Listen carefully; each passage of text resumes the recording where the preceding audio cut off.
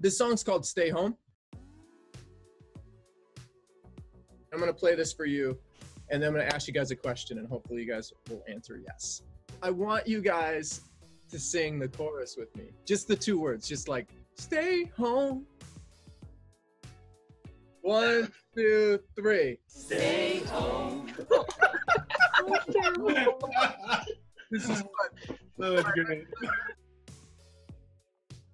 I want to say it was 2008. You opened for Kill Hannah. And I saw you, uh, the White Tie Affair on the Hills.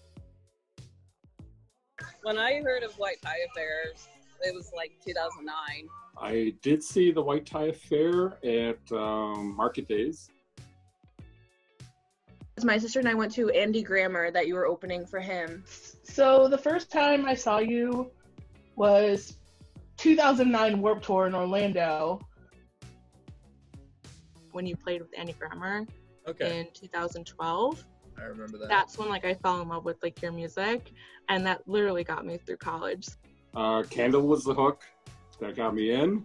And Invincible has gotten me through quite a few days too. when I first was introduced to you and your first solo album that you put out. It kind of like found me at the perfect time.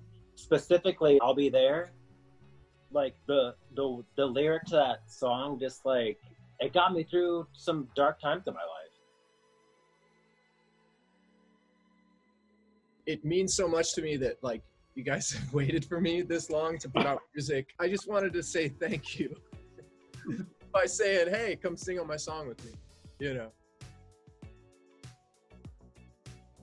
Thanks for inviting us. Yeah. Yeah, this, this is very cool. you. Yeah, thank you. That's Thank awesome. you so much. Thank you. Fun. Just keep in touch, okay? Thank Thanks, you. Chris. Thank you. Yeah. Bye. Bye.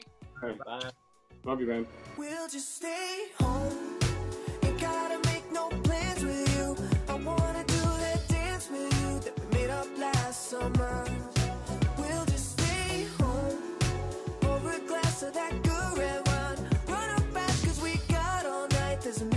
places to